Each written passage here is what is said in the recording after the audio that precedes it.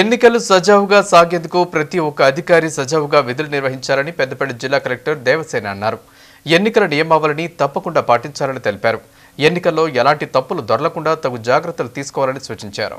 పెద్దపల్లి జిల్లా ఓదెల మండలంలోని మోడల్ స్కూల్లో రెండో విడత సర్పంచ్ ఎన్నికల సామాగ్రి డిస్ట్రిబ్యూషన్ కార్యక్రమంలో పెద్దపల్లి జిల్లా కలెక్టర్ దేవసేన పాల్గొన్నారు. పోలింగ్ స్టేషన్ అధికారులకు దిశానిర్దేశం చేశారు. ఈ సందర్భంగా ఆమె మాట్లాడుతూ ఉదయం ఏడు గంటలకల్లా ఎన్నికలు ప్రారంభమయ్యే విధంగా చూడాలని అధికారులను ఆదేశించారు. అదే రోజు ఓట్ల లెక్కింపు ఉంటుందని తెలిపారు. పోలింగ్ కేంద్రాల వద్ద ఎలాంటి అవాంఛనీయ సంఘటనలు జరగకుండా పోలీసు బందోబస్తు ఏర్పాటు చేశామని తెలిపారు.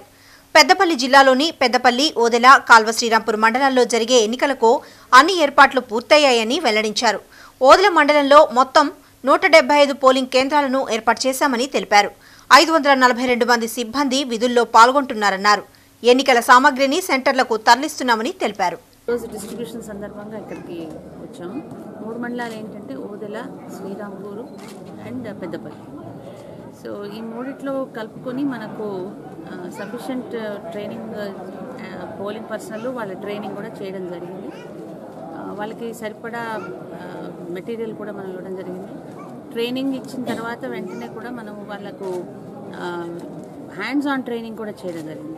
అండ్ ఫోటోని కూడా కంపేర్ చేసుకొని మరి ఓటు వేయించే విధంగా వాళ్ళకి స్పెసిఫిక్ డైరెక్షన్స్ ఇవ్వడం జరిగింది. ఇప్పుడు ఆ ఒక్క పర్సన్ టెండర్డ్ ఓట్ వేయడం వల్ల మనకి రీపోల్ అవుతుంది రూట్స్తో పాటు మన రూట్ ఆఫీసర్స్తో పాటు తిరగడం జరుగుతుంది. ఫ్లయింగ్ స్క్వాడ్స్ కూడా నడుస్తున్నాయి. ఇప్పుడు మనకి ఎక్స్ట్రా కూడా పెట్టడం జరిగింది. ఈ వార్డ్ మెంబర్స్ సర్పంచులు ఎన్నికలు అయిన తర్వాత ఉప సర్పంచ్ ఎన్నిక కూడా అదే రోజు జరిగే విధంగా ఎక్కడ కూడా లైటింగ్ ఇబ్బంది లేకుండా కూడా చూసుకోవడం జరిగింది.